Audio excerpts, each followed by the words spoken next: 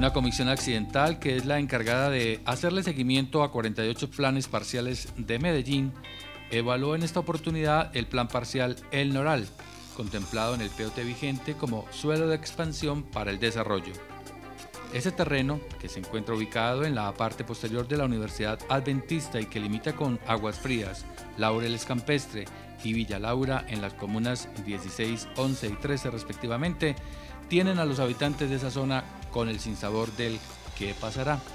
Nosotros le estamos preguntando a la Comisión o al Consejo de Medellín que nos explique cuáles fueron las razones que dieron viabilidad a ese proyecto, porque no notamos que haya nuevos espacios públicos, que haya nueva dotación educativa, recreativa, deportiva, cultural, y desconocemos totalmente la viabilidad técnica de ese proyecto.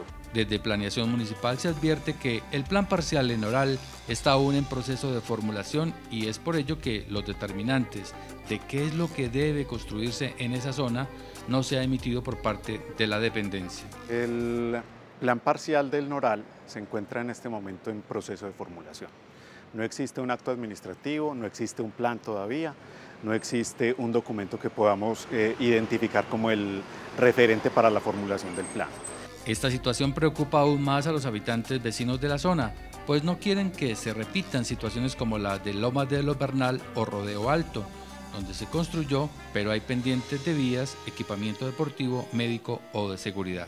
Hemos encontrado que la ubicación del terreno tiene eh, tres accesos, uno por Belencito, en esa zona estaría entonces comprometido territorios de Carisma, que es propietario de más del 60% del bosque, y de empresas públicas donde está el tanque de Belencito. Entendemos que ninguna de esas entidades dan autorización, no, no, no, no, ven pertinente que por ahí se construya un acceso, no lo autorizan. Hasta hoy entendemos que los constructores no obtuvieron los permisos. Si construyen por esa zona, estarían construyendo viviendas estrato 3 y 4 si lograran ingresar por la Comuna 11, o sea, por la 33 o la 35, ese territorio podrían desarrollarlo para viviendas estrato 5 y 6.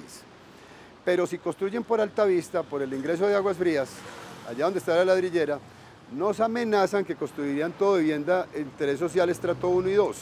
La gente le preocupa, los vecinos nos preocupa, que una zona que tiene construcciones y vivienda estrato 5 y 6 mm, sea afectada en, su convivencia.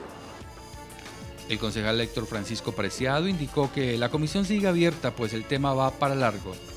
Se deben analizar entre otros qué quedará en la zona, cómo se intervendría por parte de la municipalidad y lo que más les preocupa, cómo llegarán las constructoras a desarrollar un plan parcial donde los vecinos no lo quieren, pero se muestra como necesario para la expansión de la ciudad. Con las respuestas de hoy quedo preocupado Quedo preocupado por tres cosas. La primera por la desinformación de la comunidad. La segunda porque una vez más eh, queda evidenciado que el plan de desarrollo de la ciudad de Medellín con respecto a su territorio es manejado como de manera ah, escondida o de manera oculta. No hay una debida socialización y una pedagogía con cada una de las organizaciones y líderes que afectan estos territorios. Y la tercera es eh, la parte de el desinterés de los constructores de también socializar y mm, hablarlo y compartirlo con la comunidad de cómo va a ser ese desarrollo de ese plan parcial o de ese territorio.